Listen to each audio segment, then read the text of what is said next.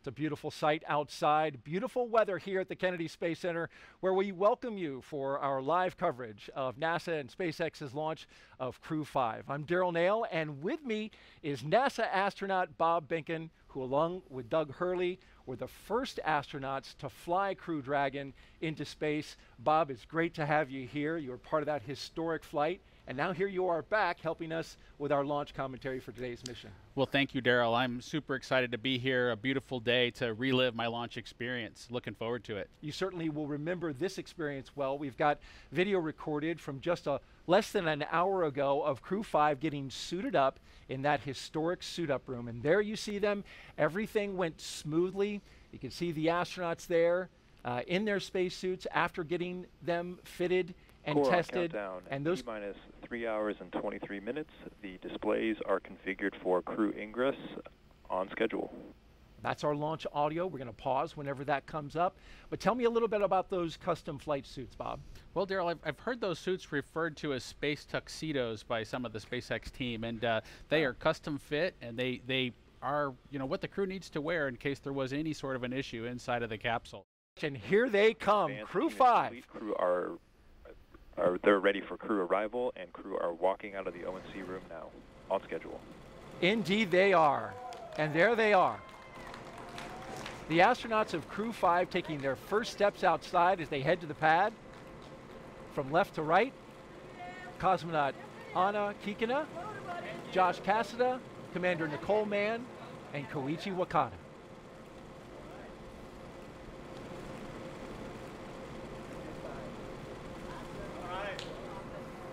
So that was a pose for a picture. And here they go to their ride out to the pad. Three Teslas all lined up in queue, along with a full security escort. And the folks you see there, family, loved ones. This is a moment to have an exchange, Bob. It is. It's an opportunity for the crew, if you will, to take a little bit of a break from the technical briefs that they've been having this morning as they got suited up and understood what the weather conditions were. They get a chance to say goodbye to their families, uh, see some smiling faces. Again, have a little bit of a relaxing moment with their families before they get serious again and head out to the launch pad. I- It's, it can be an emotional moment.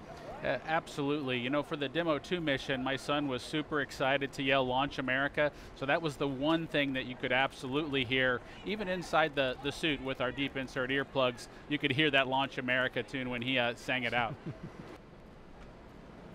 Look at that license plate. I was just noticing that. Blast off. yeah, Derrol, the, the SpaceX team has been creative with those license plates. It's always cool to see what they add to the Teslas to make the experience just a little bit personalized. It's a nice touch. As you can see, the media in the background positioning themselves for a good shot as the Teslas roll out with a full security escort on a 20 minute drive to pad 39A.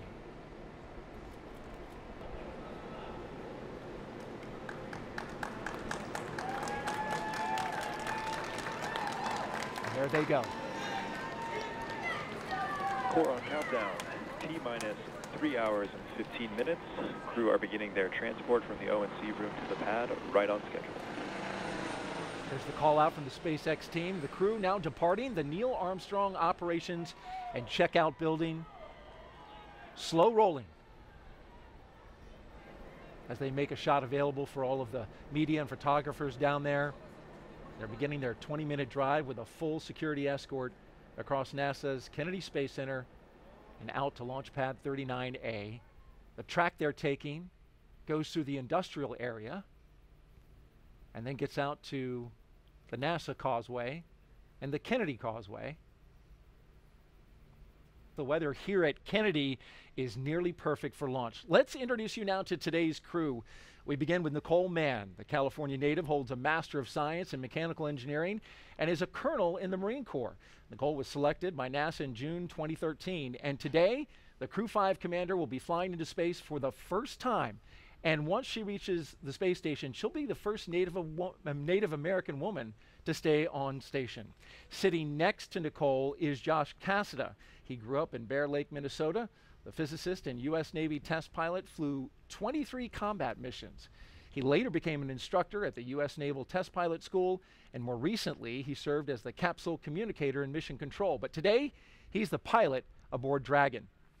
In the role of mission specialist is veteran Japanese astronaut Koichi Wakata.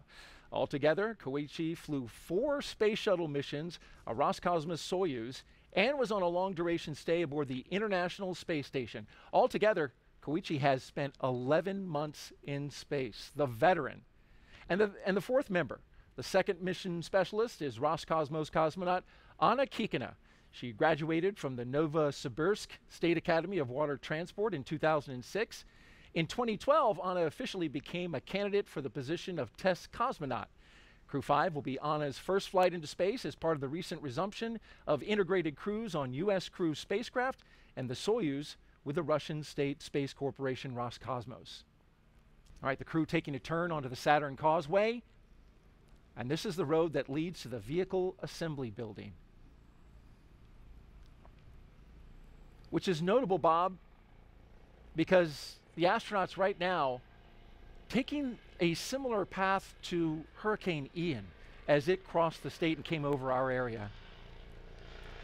That's the operations and support building behind it, but then behind that, going through here is the vehicle assembly building. And after studying, studying the data, we learned the storm took uh, that similar path. And as we widen out the view here, you can see there it is, the Artemis logo, and a great shot of that vehicle assembly building with the crew going by. Now, the Crew 5 launch was delayed several days due to Hurricane Ian taking aim at Florida. And after studying the data, here's the path that we found it took. Take a look at this graphic put together by meteorologists with satellite data. It shows the track through the state. You can see the center of circulation, of course, the devastating impacts to the Fort Myers Beach area, more than 100 people killed and complete devastation. By the time it crossed our area right there, you can see it came out the other side on Florida. Between pad 39A and 39B, and 39B is where we had our moon rocket, the SLS and Orion spacecraft. But officials here at NASA and the launch team with SLS made the decision to move the SLS indoors, and this is video from that day, three days prior, the mighty SLS and Orion spacecraft going into the shelter of the vehicle assembly building as Hurricane Ian passed overhead. It's a four mile, 10 hour trek it was that day. And we got winds, Bob, over 96 knots at the top of one of the lightning towers out at pad 39B. So certainly the winds were whipping up high and down below around 60 knots. It was a good move to put that rocket in the shelter. Yes, it's just remarkable to kind of have seen the packet track of the storm, have it come right through the Kennedy Space Center, and to be sitting here just a couple of days later getting ready to launch a crew into space. There you see the security vehicle pauses, comes off to the side, and the Tesla vehicles roll on along with the MRAP in tow. And this begins the part of a really neat experience. Going up the slow grade as they pass the security checkpoint and into the blast danger area. This is an area only for the astronauts and the advanced team, as well as the closeout crew. It's a restricted area, and you go up that slow hill, and you're looking right at that rocket. You know, Derrol, as you make your way to the launch pad, you kind of go through layers, if you will, of, of people that can be near you. So whether that's your family and your guests when you're back at the ONC building, uh, but as you make your way to the pad surface, there are these milestones that you get past where you become more and more alone on your ride into orbit. And so heading up this hill uh, to the launch pad surface, it's definitely a smaller group, and that group continues to shrink all the way to hatch closure. And in your case, until it was just you and Doug Hurley. That's true. It was just uh, Doug and I, and uh, of course, uh, all the support team that's uh, reaching out to you via the radio to make sure that the, they're watching over and making sure that you're ready to head off into space. But it was definitely Doug and I alone with our thoughts. These four Crew 5 astronauts now actually on the pad surface. As you can see them driving onto it, there's a track that they just came over that goes around the launch pad. That's a, a relic from the space shuttle era as well as the Apollo. There's the base of the rocket, and dead ahead, the elevators to the launch tower that will take them up to the top of the crew access arm and allow them to make entryway into the Crew Dragon.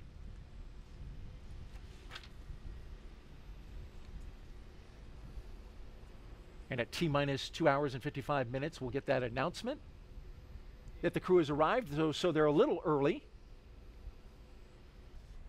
You can see the flags flying and the clock ticking down. If you're just joining us, you're watching live coverage of SpaceX mission known as Crew 5 as we watch the first two astronauts walk out onto the pad surface, getting ready to do what, and I have to admit, this is, I have to attribute this the rocket recline. there it is. I, I, like the way they did it kind of in coordination as well. I think that was something that Doug and I didn't quite nail on the Demo 2 mission, but uh, I appreciate them getting it sorted out by Crew 5. That was Commander Nicole Mann and pilot Josh Cassada that just took that look up. And I mentioned the attribution. Uh, that was uh, our voice of mission control. Rob Navias came up with that phrase. So got to give him credit for that, the rocket recline. We'll get the next two mission specialists who will uh, do the same move. But for now, they'll go into the elevator, the same elevator, Bob, that you rode on two missions aboard the space shuttle and Crew Dragon. That's true, Derrol. That, that elevator there on the 39 Alpha launch pad is just a, a, a, wonderful experience to kind of be able to bring it back into the game and be able to fly kind of, if you will, uh, slowly up to the pad surface before making a, a, stairway walk up to the actual location where you walk out to the Dragon capsule. And there we see the top of the elevators well, where they'll walk out and uh, this is something that they have rehearsed a few times. Certainly we were here when they rehearsed it the other day during what's called a dry dress rehearsal. Yeah, the crew has been through this before, and like I mentioned a little bit earlier, it is really important to kind of get the nervousness out to have done these operations uh, once before. We can see uh, Nicole and and Josh there as they've made their way out of the elevator. They'll walk around the back and make their way up the stairs uh, to the actual walkout area where they'll potentially have a chance to make a phone call, reach out to their family one more time uh, before heading out to the White Room itself and climbing into the ship. And the closeout uh, team right behind them from SpaceX as they greet uh, some of the members of that team with some fist bumps. The telephone you mentioned, Bob, is there on the right-hand side of that uh, that hallway there. But uh, what I notice is the astronauts tend to pause right about here because it looks like that is a spectacular view. It is, Derrol. It is their chance. Of course, you know they, you've mentioned the rocket recline, where they're able to look up at the rocket. They're kind of co-level with the vehicle at this point. They're able to look out, see the ocean, see the rocket, see the capsule itself uh, before getting ready to kind of take that next step and head into the vehicle. And there you see one of the astronauts doing just that. To the right, they are looking out over Launch Complex 39A and the Space Coast. No doubt having a view that is similar to this from our flight ops team here at Kennedy. What a great shot. On the left on the left there you've got the launch tower and that is the crew access arm that bridges the gap between the launch tower and the rocket on the right. And you can see, Derrol, the second two crew members getting ready to do their rocket recline, if you will, and get a chance to look up at the vehicle. Uh, I know they're excited to get their chance to climb in and, and strap down. Not quite as perfect and in sync as, uh, as Josh and uh, Nicole were, but they did a great job. Uh, again, better than Bob and Doug. So Better than Bob and Doug, but not quite as tightly choreographed as Nicole and Josh. They, they nailed it. Nonetheless, they get a great view right before they make their way into their spacecraft and that will ultimately take them into space. We've got a split screen now. The two mission specialists on the left and to the right. We're tracking our pilot and commander.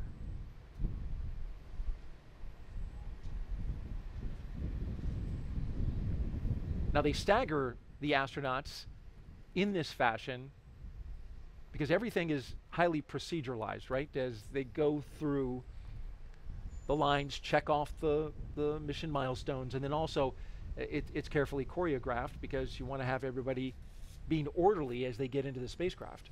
Absolutely, Derrol. There is a well choreographed uh, checklist that the SpaceX team has on their tablets as they follow along with the crew accomplishing the steps in front of them. But remember, there's just a single hatchway, and they need to go in in sequence, and it wouldn't be helpful for all four of them to be there at the same time. So uh, we do bring them in in sequence. Uh, Nicole boarding first, followed by the rest of the crew looking at the launch tower there, pad 39A. Bob, this is the same launch tower that launched the space shuttle. It's been, of course, renovated by SpaceX. They've made a lot of improvements in order to accommodate the Falcon 9, but it also has some throwback to the shuttle era. And there's part of the, the fixed service structure uh, that's still a part of that structure today. That's true, Derrol. The 39 Alpha launch complex was modified to be able to handle the Falcon 9 rocket. Um, and Doug and I were super excited to launch again from the exact same location. There are remnants of the shuttle program that are still kind of out there. There's a, a series of chevrons. You can kind of see them in the in the image there. The uh, kind of the yellow pathway, if you will. The crews go in the opposite direction there. The, those chevrons point towards the slide wire baskets that they would use if they needed to do an emergency egress off the pad surface. Those slide wire baskets are a legacy item from the shuttle program. And here we go, the first two astronauts to board Crew Dragon. On the left, Josh Cassada, and on the right, Commander Nicole Mann. All smiles as they make their way down the crew access arm. You can see the fist pumps. They're definitely getting excited now as they get ready to board the ship. And they make their way into what's called the White Room.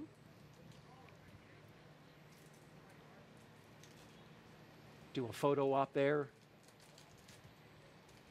Core on countdown. T minus two hours and 47 minutes. Crew have arrived at the White Room just a little bit ahead of schedule. There's the announcement. And uh, you can see one of the SpaceX techs handed Nicole Mann and Josh a Sharpie, which this is something that's actually on their to-do list for launch operations. And what they're going to do now is sign their signature onto the NASA meatball, or right there around it. That NASA meatball is encircled with signatures from all the previous NASA crews that have gone up to the International Space Station. That signature would include yours, Bob, as well as your wife, Megan McArthur. Yes, Joe, that's a nice tradition that the SpaceX team added and uh, allowed kind of Doug and I to get started. And uh, it's pretty neat to get your name added to the wall there, the, the White Room wall that leads to the Dragon capsules that head to space station. And there you see her putting her signature, making the way around the NASA meatball handing off the pen to Josh. And to the right, you see the SpaceX logo for their commercial missions. They're also starting a set of signatures, which is a great sign about starting to establish that uh, economy in low Earth orbit, the commercialization of low Earth orbit it's it's exciting to see the the economy in low Earth orbit continue to grow, Derrol. It's also exciting to see the cadre of astronauts continue to grow and, and view that group as as our partners of folks who've been to low Earth orbit, who've been into the black of space, and uh, it's just exciting to see that group continue to grow. Our launch weather officer for today, Brian Cizek, from the 45th Space Wing, telling us that we've got a nice high pressure system in the area, Bob, that's uh, keeping everything clear as uh, the first astronaut climbs All aboard. core on countdown at T minus two hours and 44 minutes. Crew have begun ingressing Dragon. And here come our second two astronauts, mission specialists Koichi Wakata and Anna Kikina.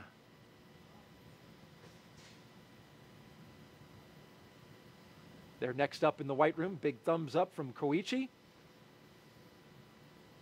He's the veteran of this uh, group, uh, Bob. We got three first-time flyers and a guy that has a lot of experience in space. That's true, Derrol. You know, Koichi was in the astronaut office when I arrived uh, a couple decades ago. You know, just having joined and, and trained as a shuttle astronaut, getting the opportunity to fly on his third space vehicle, kind of going forward here it's got to be exciting for him to try on a new spaceship. And making his fifth flight into space. And our mission specialists will now put their signatures on the white room as the commander and pilot finish up securing their five-point harness uh, into their uh, seat, getting a snug fit, as you can see there. Josh Cassada making sure everything is lined up correctly. Looks like he's got four hands. those are his gloves. I'm sure an extra set of hands couldn't hurt. Yeah, no, he just has the two hands, uh, just like the rest of us, but he does have the, the gloves there kind of taken off to kind of give him some additional dexterity as he tries to work through getting all the strap in process completed. You mentioned the five point harness, uh, much like a racing harness mm-hmm. that the astronauts uh, strap in with. Uh, likely they won't need all of the capability of that harness as they head into orbit and take their ride, uh, but it does have a provide some capability should the emergency escape system be activated to really keep them strapped tightly into their seats. So very exciting watching them getting settled in. We've got this awesome view of the Falcon 9 with Dragon on top, crew on board already. We have been watching the crew since this morning make their way to the launch pad, climb up the fixed service structure, walk across that beautiful crew arm that you see there on your screen. And now they are getting settled into each one of their seats. And there is the Crew 5 crew there on your right-hand screen. And the crew will remain in these spacesuits through the ascent portion of today's flight. They'll be able to get out of their suits and get a little more comfortable short shortly after um, liftoff, but for the portion that is the most dynamic portion of the flight, they will remain in those spacesuits. Uh, and the primary function of those spacesuits is to protect the crew in an event of a cabin depressurization. And if that would occur, the suit could inflate to provide a habitable, habitable environment long enough for the crew to return home. Not only is today an exciting day because it's launch day, but it's also a pretty exciting year as this year marks Dragon's 10th year in operational flight. It took a lot of love and dedication to get here today, and we are still learning and innovating from each launch. From the beginning, Dragon was designed to eventually fly people, the Dragon hanging from the ceiling next to us was initially flown to certify SpaceX for cargo missions to the space station over 10 years ago, which flew in 2010. Yet a window was added to hint at our plans for flying crew in the near future.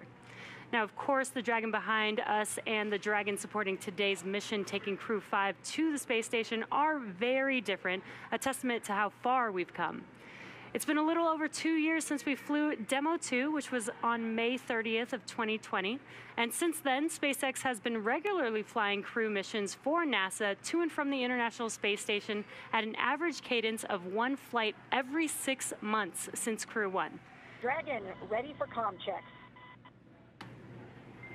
Copy, Dragon. Stand by for umbilical com check. And we did just hear those words that com checks will be starting here shortly. Now on your screen, you're seeing some waves, some thumbs up, some goodbyes to the team on the ground. Once they close CDR, this hatch. PLT, MS1, MS2, com check. CDR has you loud and clear. PLT has you loud and clear. MS1 uh, has you loud and clear. MS2 has you loud and clear. Core, loud and clear. Umbilical com check is complete. Stand by for ground station com check. We did discuss Dragon, the SpaceX. Confirm crew displays are configured for launch.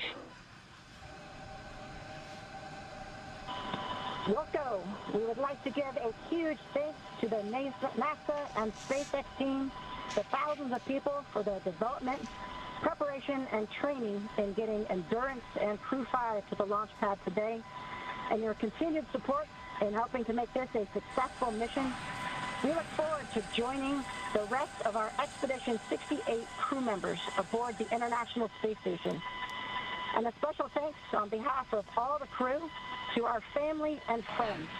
It is your love and support that help make dreams come true. Now let's do this. Crew 5 displays are configured for launch. Copy, and Nicole, Josh, Koichi, and Anna, on behalf of the entire team at SpaceX, good luck, Godspeed, and enjoy the ride.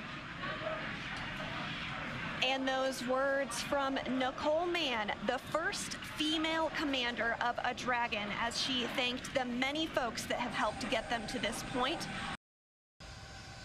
Dragon is in configure for terminal count. Launch teams continue to report no issues and everything remains green and for an on-time launch. Retract has started.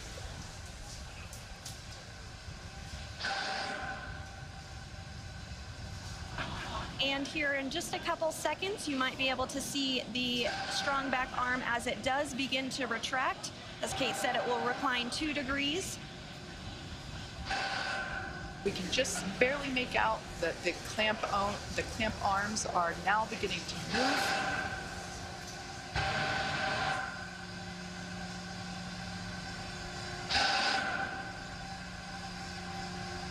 All right, now that those clamp arms are removed, as Sandra said, this will retract by two degrees. Uh, and then at liftoff, the strong back will retract another to 45 degrees, uh, allowing Falcon 9 to clear.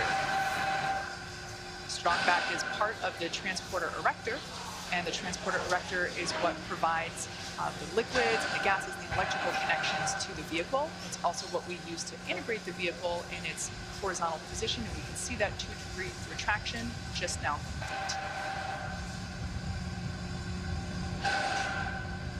And the next call out that we should hear in about 20 seconds is that the first stage LOX load is complete.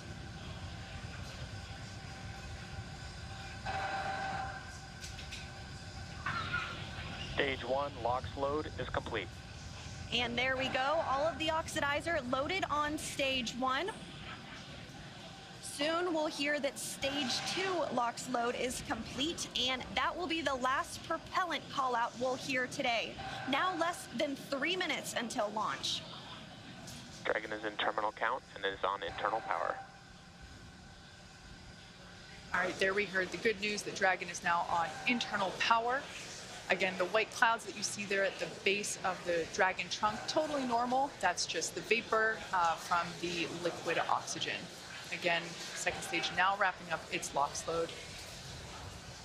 Excuse me, first stage wrapping up its LOX load um, just a few minutes ago, and now moving toward wrap up of second stage LOX load, which will complete at T minus two minutes. Coming up on two minutes until liftoff, standing by for word that stage two LOX load has been completed.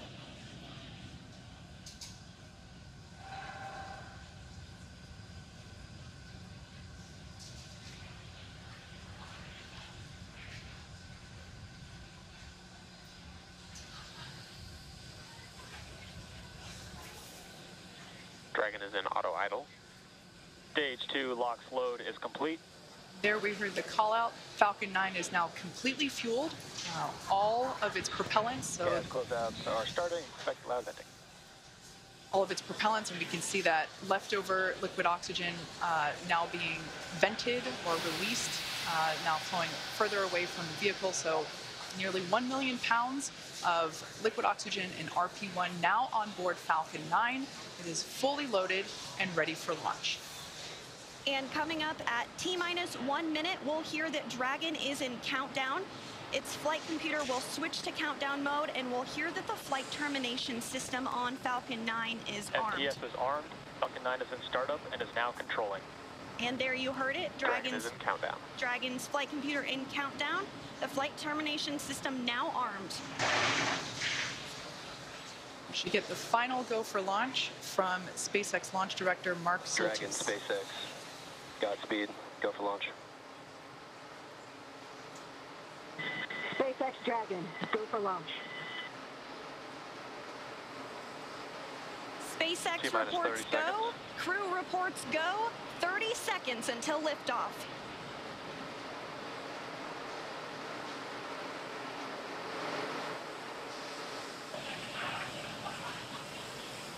T minus 15. 10,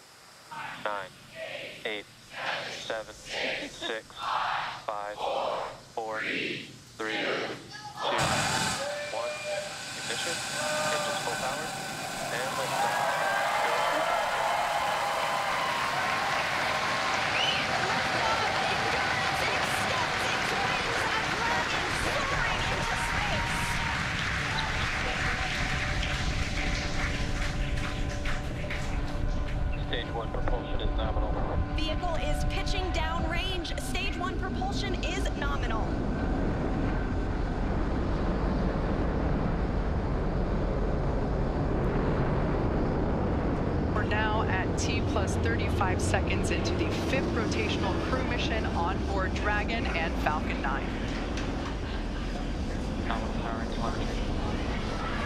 Coming up in just a few seconds, we'll hear the call out for stage one throttle down.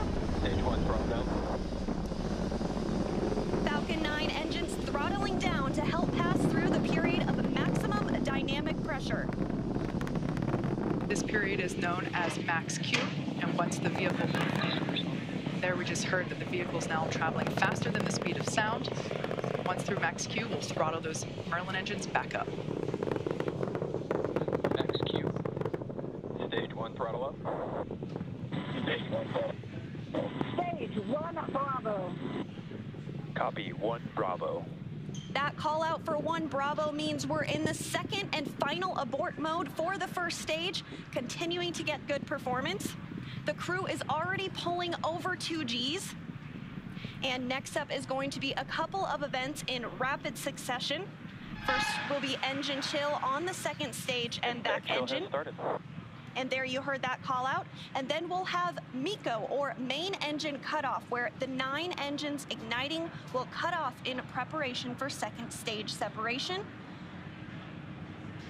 Then we'll see the single Merlin vacuum engine on the second stage ignite and continue to carry the Crew 5 astronauts to orbit. Just like we did on first stage, that MVAC chill is intended to help pre-chill the hardware prior to the full flow of that densified liquid oxygen. Stage one throttle down. At this point in time, those nine Merlin engines are beginning to throttle down in preparation for MECO or main engine cutoff.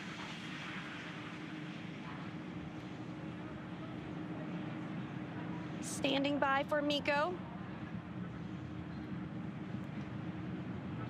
And MECO. Stage two Alpha. And Stage separation confirmed. Copy, two Alpha.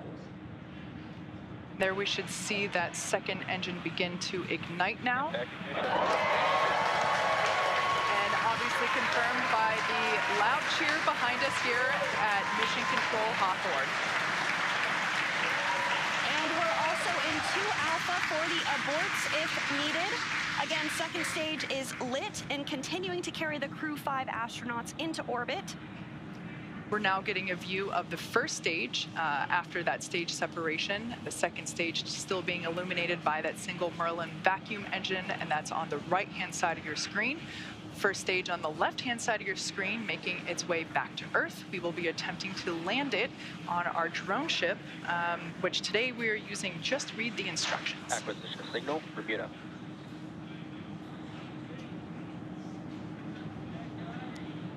And we did hear that acquisition of the ground station in Bermuda. The first stage is continuing to make its way back to Earth, and the second stage is going to continue. SpaceX, trajectory nominal. Another good call, trajectory nominal. Dragon copy. Confirmation there from Commander Nicole Mann. You can also sort of see the, the Space Coast there in the background of the first stage on the left-hand side of your screen. It also looks like you can actually see the thrust plume uh, created by the first stage as it's now rotating just out of screen. Second stage is going to continue firing until a little over eight minutes into the flight, really doing the heavy lifting now, getting the crew into orbit. Everything continues to look nominal on both first and second stages. As I mentioned before, the first stage will be making uh, a, a, landing on one of our drone ships, which is currently parked a couple hundred miles off the coast of Florida in the Atlantic Ocean. So we can see now that Dragon, SpaceX, trajectory nominal. good confirmation there that we have good Dragon trajectory. The second stage now traveling over 5,400 miles per hour. Crew is pulling a little more than 1G right now. That's going to continue to ramp up, peaking just before we get to second stage cutoff here in just a few minutes from now.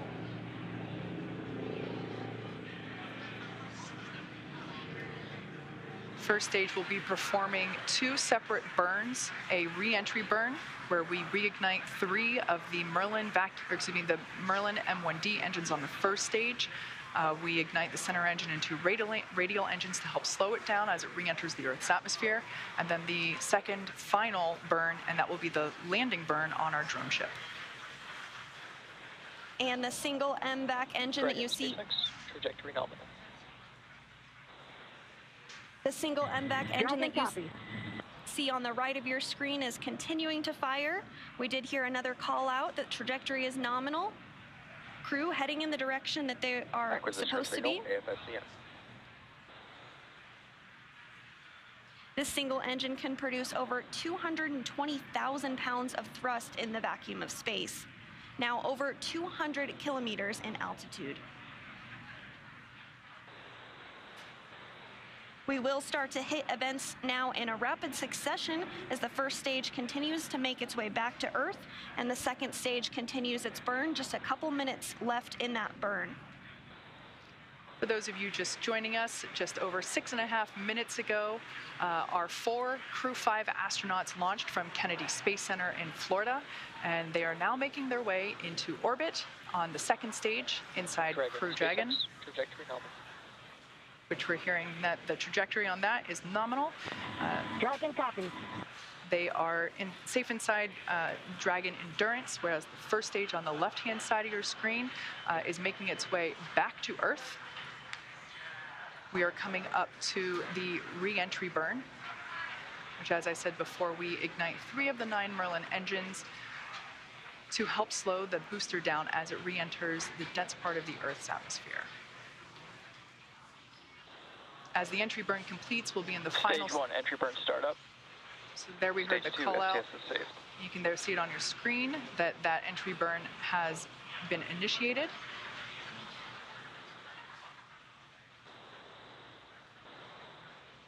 And as that entry burn completes, we'll be in the final um, different abort phases here shortly, which essentially correspond to areas along the very northeastern seaboard of the U.S. Stage one entry burn shut down. Great news that entry burn was shut down, and then those last all the way across the Atlantic Ocean, Atlantic off the coast of Scotland for those abort zones.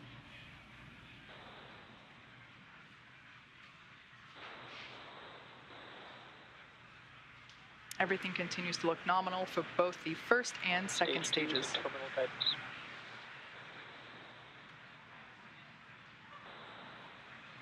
And the crew with the second stage still attached is now traveling over 13,000 miles per hour. We're about 10 seconds away from SECO 1. Copy, Shannon. Shannon, Stage that call one, out. transonic. That call out for Shannon, Ireland, indicative of our final abort zone. After this, we'll see second stage shut off, and we'll be listening for confirmation of a good orbit, which tells us the crew and Dragon are exactly And where they need to be. shutdown. And there we had confirmation that the Stage MVAC one landing burn. has shut down simultaneously. Uh, the entry Dragon SpaceX nominal orbit insertion. And you heard that call for a good insertion. We will coast for a few copy. minutes. There we can see the drone ship coming into view as Falcon 9 attempts. system. Stage one landing leg deploy. You can see those landing legs have now deployed.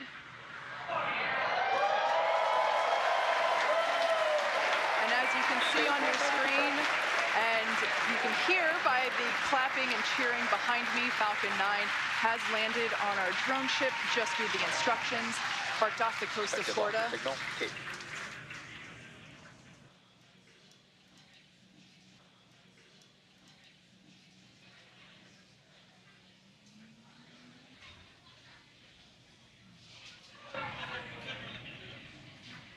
And there is separation. Dragon separation confirmed. And Dragon, director. Dragon copy and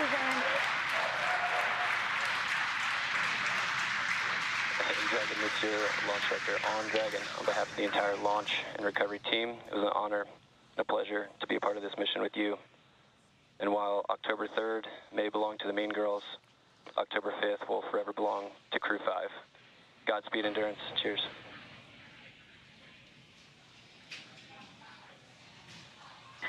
Awesome. Thank you so much to the Falcon team. That was a smooth ride up here.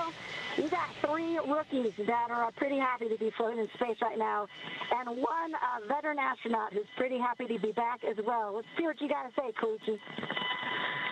Uh, Falcon team, uh, you know, it was a smooth ride, and uh, I see all the three happy faces here. It's back in zero G, and I appreciate all the help to give us a smooth ride and training. And thank you so much. えー JAXA の支援隊の皆さん、えー非常にスムーズなあの打ち上げでした、えー打ち上げご支援していただいた皆さん応援に駆けつけてくださった皆さんありがとうございましたこの調子でチームワークを持って頑張ります Thank you for your support アニャ Uh, thank you, Falcon 9 and uh, our fellow uh, agencies, uh, to Roscosmos, NASA, and JAXA, and SpaceX exactly for uh, giving us that opportunity. We're so glad to do it together.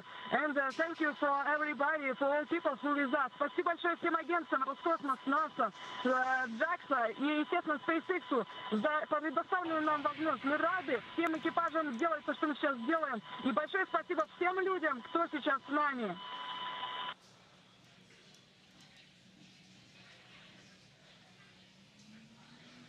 Some really nice words there from the Crew 5 crew as well as And Dragon Falcon 9C, thanks for the words. Uh, had a great ride. Have a good mission. We'll see you later.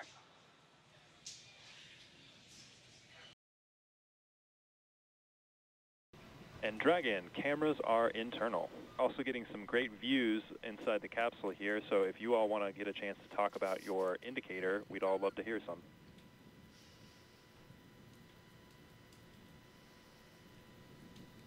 Absolutely, Mike. So, uh, a couple years after he come up with his groundbreaking theory of special relativity, Albert Einstein, in his mind, still had a couple loose ends to tie up. While he was sitting in the patent office, because he wasn't famous yet, definitely should have been, he had what his happiest thought of his entire life. That thought was, person in free fall feel their own weight. That thought, along with some others that he built upon, led to general relativity and our understanding of gravitation and curvature of space-time. We're experiencing Einstein's happiest thought continuously, like the International Space Station has been doing for over 20 years. On Crew 5, call this little guy our free fall indicator. We're here to tell you there's plenty of gravity up here. In fact, that's what's keeping us in orbit right now and preventing this trip on a Crew Dragon from being a one-way trip. A little bit like life. We live in the same world. We live in the same universe. Sometimes we experience it in a very different way from our neighbors. We can all keep that in mind. We can all continue to do absolutely amazing things. Do it together.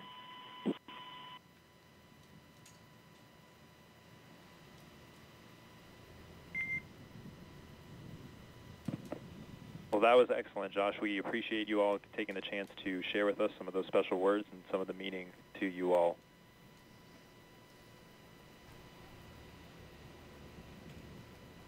Tell you, my crewmates are just happy that uh, we didn't break out a dry erase board and get into more detail. We'll chat lensing later. Absolutely.